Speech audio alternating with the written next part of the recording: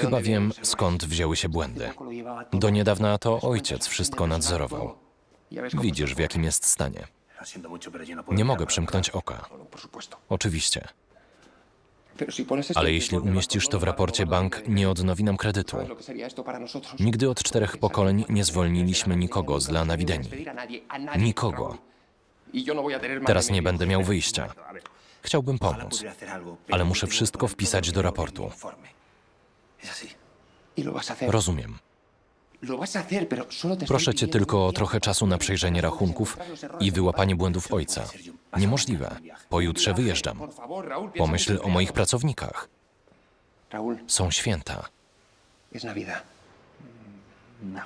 Akurat na mnie to nie działa. Myślę, że jakby dobrze poszukać, znalazłby się w tobie dobry człowiek.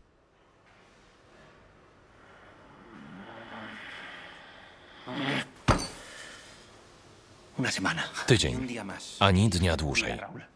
Niech cię Bóg błogosławi.